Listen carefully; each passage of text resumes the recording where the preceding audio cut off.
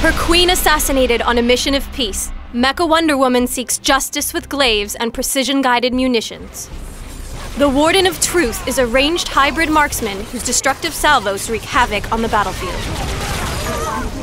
Her passive is Implacable Judgment. Each basic attack places one stack of judgment on an enemy. At three stacks of judgment, they're consumed and the enemy is dealt bonus power damage. Glaive Storm launches a wide spread of projectiles that deals power damage to the first enemy hit and apply one stack of judgment. Use Afterburn to dash to a target location and leave a trail of scorched earth. Enemies who stand on the path are dealt power damage. Celerity grants a powerful attack speed boost, and its duration is increased by stacking an enemy with three judgments. Shut down. Her ultimate, Tempest, channels a cone of power damage over a short time.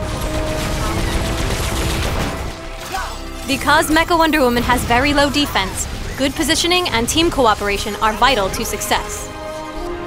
Use Afterburn to catch fleeing targets or save it to escape pursuing enemies. Use Glaive Storm to pressure opponents early in a match. Late game, Celerity allows you to quickly dispatch soft targets like Satana. Reserve Tempest for advantageous moments like when enemies are crowd controlled or grouped.